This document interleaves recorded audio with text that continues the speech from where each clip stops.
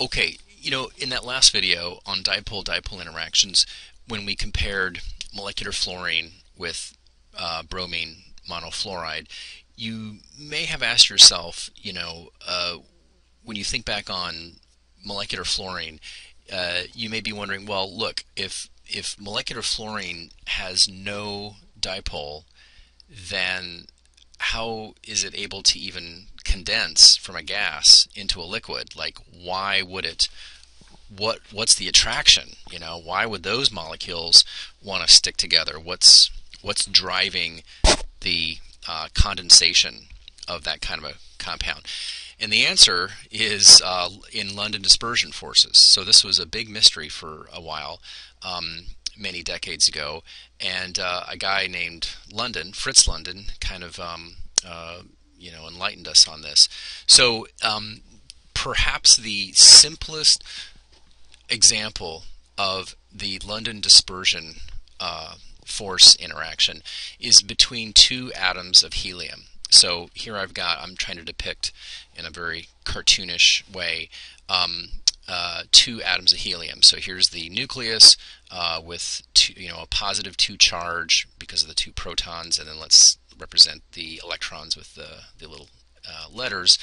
And um, when, well, I should say, when they're apart, when they are you know relatively isolated, these two electrons in the 1s orbital, um, they are evenly distributed in three-dimensional space, you know, around this sphere. Um, so, uh, you know, I guess a concise way to say it is the um, the electrons on uh, on helium are spherically symmetric about the nucleus. All right, so it's just like a, a little ball.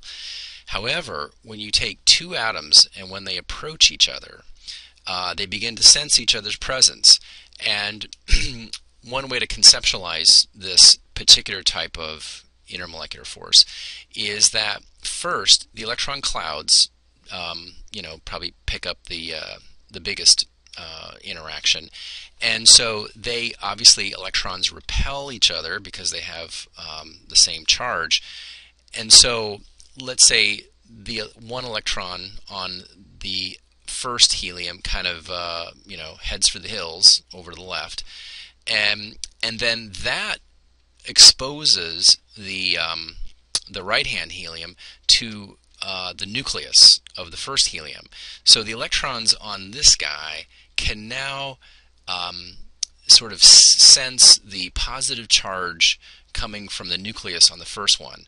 And so they're like, hey, you know, let's, this is really attractive. Let's go over and check it out. So, um, so this is a way of reaching a more stable um, configuration, you know, among the electrons and the and the uh, and the nuclei, um, and this leads to these really tiny little dipoles, right? Because you know, if we kind of step back and look at this a little more broadly, what a dipole represents at the end of the day is a uh, a slight polarization of charge okay and so if the electrons are spending more of their time over here on the left than they do on the right, then you've got this little bit of excess of negative charge on the left, and then you've got the positive charge over here, and that can be represented very concisely with a dipole. All right, and that's why my dipole is pointing to the left because I'm trying to depict the electrons as uh, being biased toward the left because there's this other big guy over here with his electrons on the left. So you've got these two dipoles that um, uh, that are kind of attracted to each other now. Okay, so it's kind of a two-step. Um, and what happens is over time, the two atoms, can you see how they're, you know, the electrons are kind of sloshing back and forth? They set up this correlated motion, all right? And as long as they maintain this correlated motion, then the dipoles are always pointing kind of uh, either in the same direction or they'll be you know parallel. But the but the important thing to know is that it, they'll reinforce each other and they they will maintain an attractive force.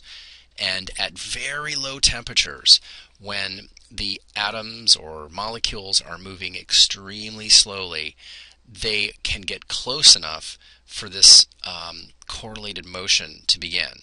Okay, and we have a name for this. Uh, the official name for this behavior among atoms and molecules is electron correlation. Um, we've talked about the word correlation before, but uh, you know this is another context. Um, so here's what you need to know. So electron correlation, as we just saw, it leads to what we call instantaneous dipoles. And the reason they're not considered permanent dipoles like on bromine monofluoride is because these dipoles only exist when two atoms or two molecules get close enough. And then this little two-step, this little dance can start. So they're called instantaneous dipoles and uh, that is a consequence of electron correlation. So, like I said, uh, if if the helium atoms move slowly enough, this weak attractive force will allow them to condense, and that's what allows um, substances like helium to condense uh, at a low enough temperature. Uh, here's another really important thing: London dispersion forces.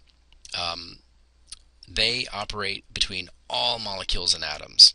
So anything that has electrons is going to uh, engage in London dispersion forces. Okay, so you may be thinking, oh, well, wait a minute. Uh, you know, how can it be both that and dipole dipole? And well, I'll show you an example uh, a little bit later that um, of molecules that can have you know uh, three um, three of those things going on at the same time.